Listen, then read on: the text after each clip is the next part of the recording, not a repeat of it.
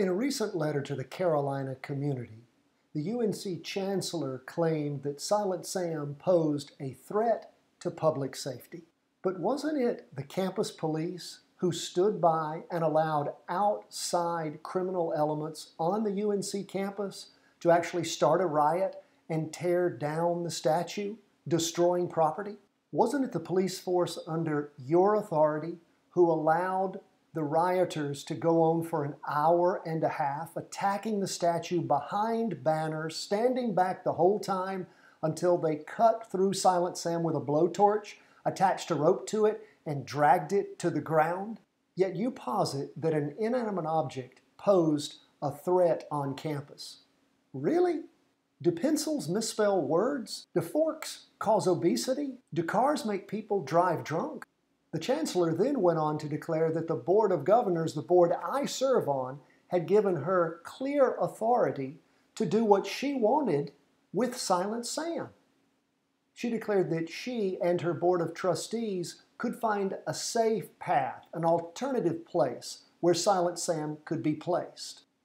No such authority was ever granted. We simply demanded an answer from you as to why and how the property destruction, the tearing down of Silent Sam, and the madness happened on one of the UNC system campuses. Now, regarding a quote, alternate location for Silent Sam, let's do one simple thing. Let's check out what the law in North Carolina actually says regarding the relocation of a statue. To do that, we have to go to North Carolina General Statute section 100-2.1.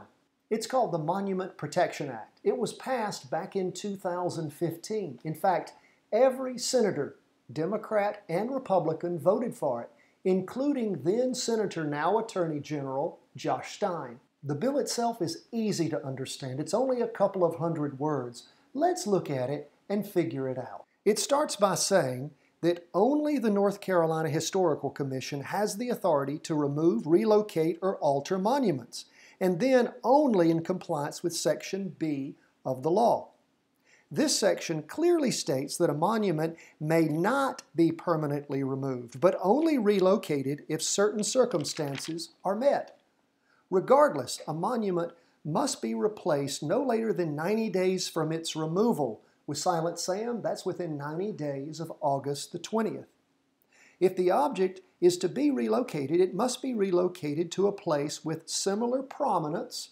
It must honor visibility, availability, and access that are within the boundaries of the same jurisdiction. That's the UNC campus. Further, the law defines only two circumstances as to when the object can be relocated. First, to preserve the object, that is an area prone to flooding perhaps, or a hillside that's collapsing, you can move the object in those cases, or when necessary for the construction, renovation, or reconfiguration of buildings, open spaces, parking, and transportation projects. There's only one other exception. Building inspectors can find that the threat posed to public safety makes it an unsafe or dangerous condition.